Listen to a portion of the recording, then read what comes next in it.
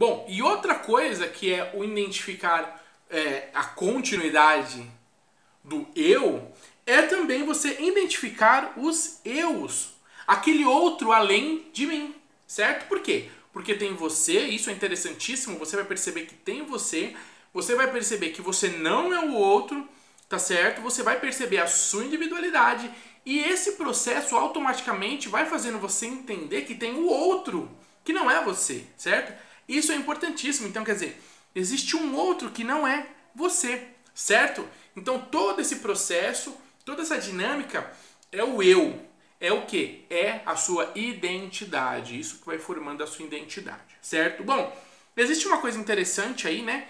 Que a gente pode falar um pouquinho. Tem uma posição sobre o que é identidade, ou do que ela é composta, né? Que é do psicanalista André Green, certo?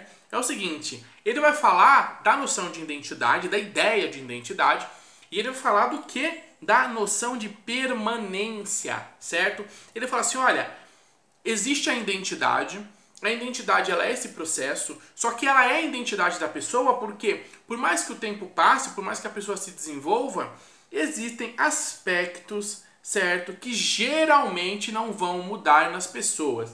Ou se eles mudarem, eles vão mudar de forma aonde?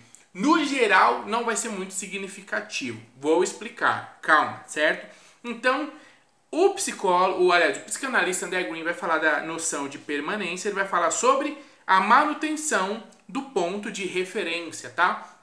O que, que é isso? Dentro da identidade tem coisas que vão ficar. André Green vai colocar três pontos importantes, que um deles é o nome, tá certo? Então quer dizer, na sua identidade existe o seu nome, tá? Isso vai ser uma, uma das características da sua identidade. E o nome geralmente é uma coisa permanente na, maioria, na maior parte das situações, tá certo? Então esse seu nome arrasta características com ele durante o tempo, tá certo? Por exemplo, meu nome é Udney, então até hoje a Udney não vai mudar, é esse nome aqui, tá certo? E com ele vem algumas características. Inclusive, o meu nome, ele é uma característica da minha identidade, tá certo? É como se a gente embutisse coisas dentro dele. E ele fosse parte é, também de um conjunto de coisas que quando você olhar, você vai falar, hum, isso é Woodney. Sabe aquilo que quando acontece alguém fala assim, caramba, isso é coisa do fulano. Por quê? Porque o fulano faria assim.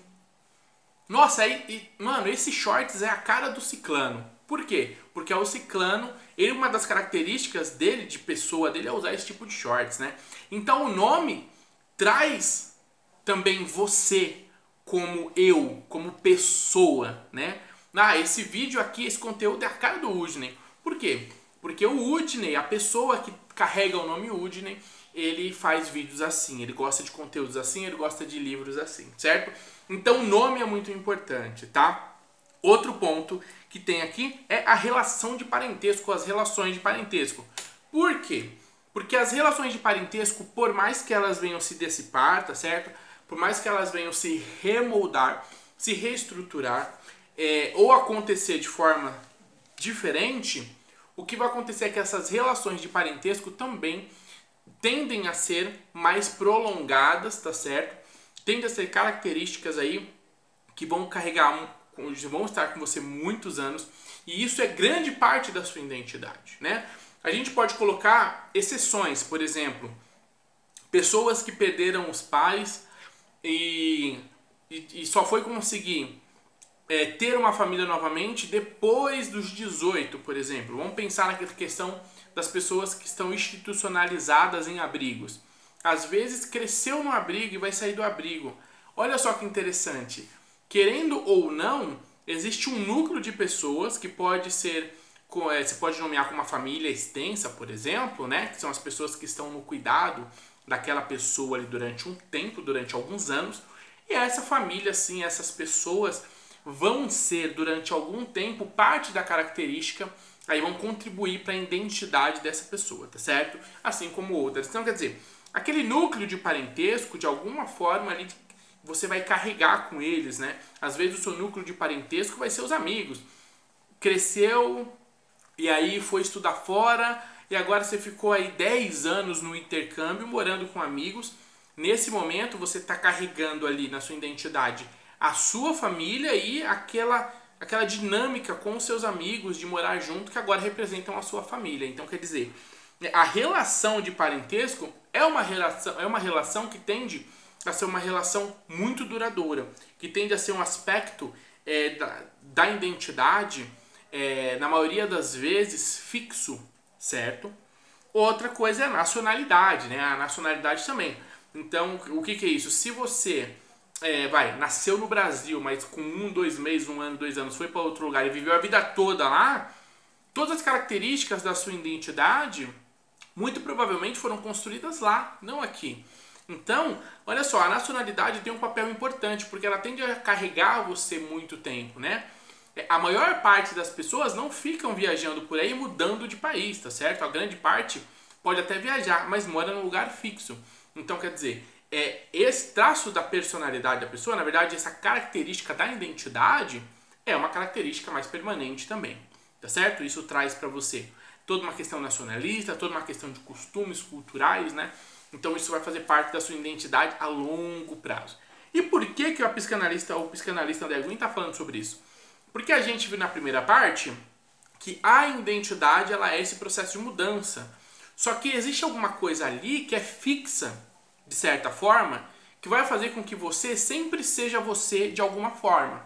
Você vai mudar várias coisas. Você pode mudar a tua personalidade, vai mudar. Você vai mudar é, você vai evoluir isso, né? Você vai mudar alguns trejeitos, formas, formas de tratar, algumas dinâmicas culturais pessoais suas, conforme você for crescendo, amadurecendo, mudando.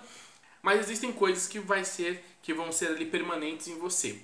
Essas coisas permanentes, mais essas coisas mutáveis que você vai carregando, é a sua identidade, certo? Isso é importantíssimo.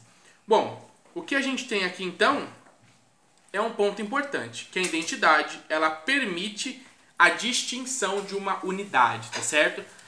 A identidade ela permite eu me identificar como uma unidade, como uma pessoa que não é as outras, como eu sou eu mesmo, como eu sou diferente dos outros, identificando esses traços, como eu disse antes, a longo prazo, olhar para o meu passado e conseguir talvez me chegar no futuro, certo? Esse é o primeiro ponto que eu vou falar sobre identidade aqui. A gente vai continuar. Reflita sobre isso, é muito interessante. Vamos colocar pontos práticos então aqui, tá certo?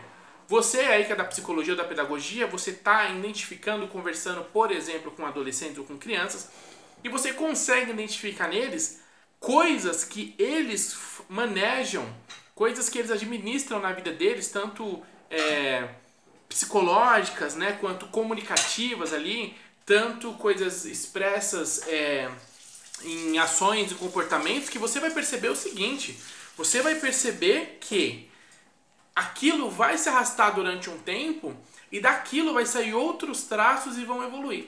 Então você entender como é a subjetivação, que eu deixei o link para vocês, vocês assistirem, tá?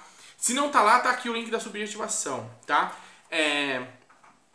E se você perceber esses, todas essas dinâmicas, como é que elas vão evoluindo, você consegue entender o que está sendo essa identidade desse sujeito. Isso é muito importante. Você consegue aí traçar mais ou menos qual é a identidade dele, certo? É isso aí. A gente vai para o próximo vídeo, tem a parte 2 aqui no canal.